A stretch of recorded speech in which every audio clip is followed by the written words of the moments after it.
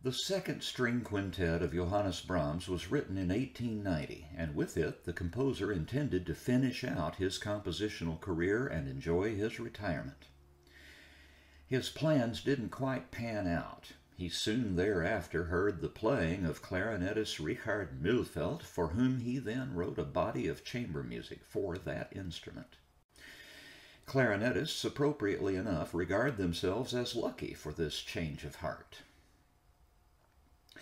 The second string quintet is grounded in the bright, sunny key of G major, yet it finds plenty of minor key depth to explore over the course of its fairly brief journey. Very brief when the first movement's exposition repeat is omitted, as in this recording by members of the Vienna Philharmonic Octet, available on the Philips label as part of a complete recorded anthology of Brahms's chamber music.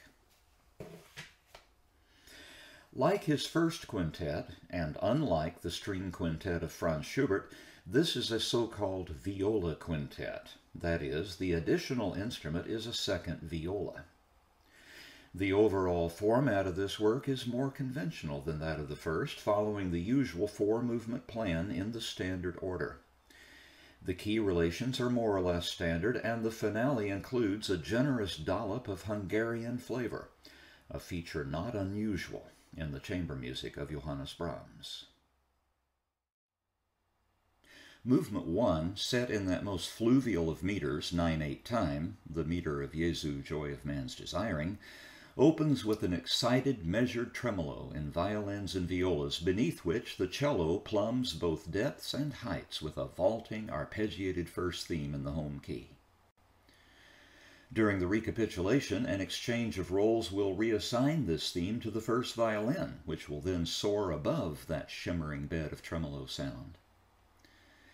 The lullaby-like second theme captures some of the flavor of the Viennese waltz, and entertaining hemiolas tug at the prevailing meter as if it were so much taffy.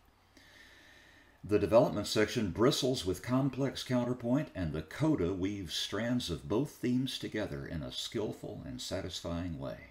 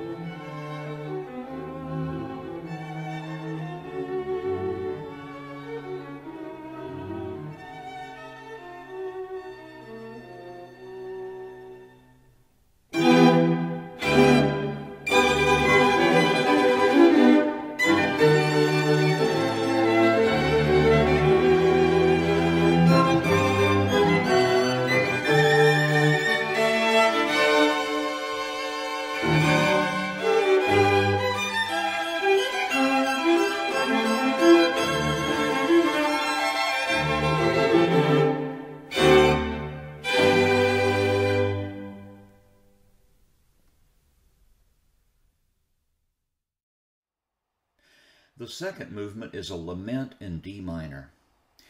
It is one of the most through composed movements that Brahms ever wrote, but beneath its surface lies a hybrid of variation and rondo forms. My analysis favors the latter, but it is certainly open to question. The theme, begun by the first viola initially, reappears in several guises, with a lengthy development section rising to a fevered pitch and a coda laying the whole gently to rest in D major. Incidentally, if the last measures of that coda seem vaguely familiar to you, you might try comparing it to the ending of Samuel Barber's Adagio for Strings, actually the slow movement of that composer's first string quartet, which ends on a long, unresolved half cadence in B flat minor.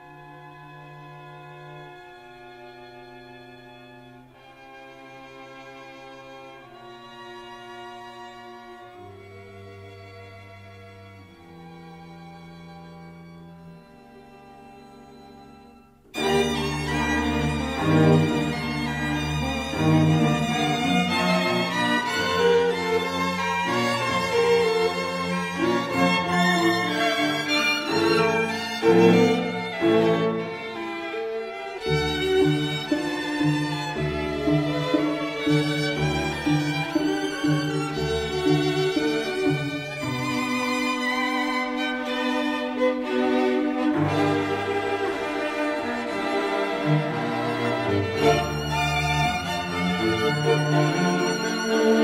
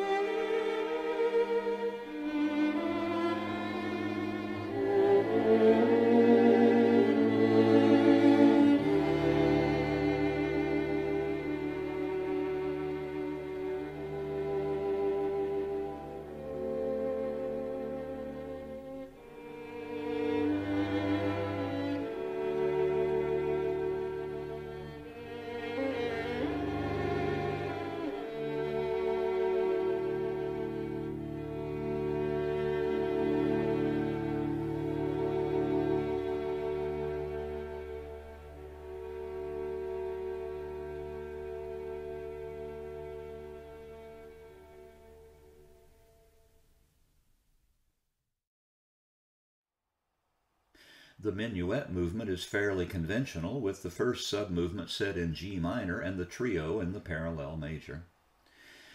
There are departures from the formal norm, however, including the lack of an internal reprise during the minuet's second strain. The minuet does return to G minor during that strain, but without its theme, and the closing is on two tonic major chords, a feature known as Picardy third. A brief G major coda based on the movement's trio closes this essay.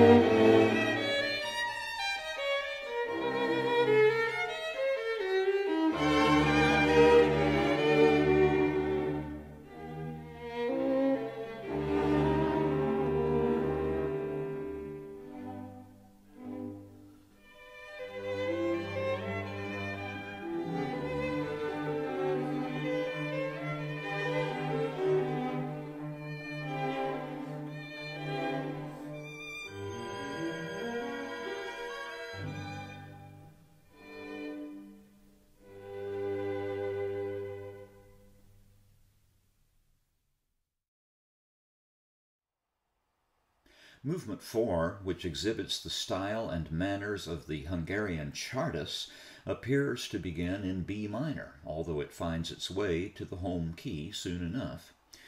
Both of its themes are made up of short, fragmentary phrases that I have identified as such on account of the fact that those phrases are developed and brought back selectively.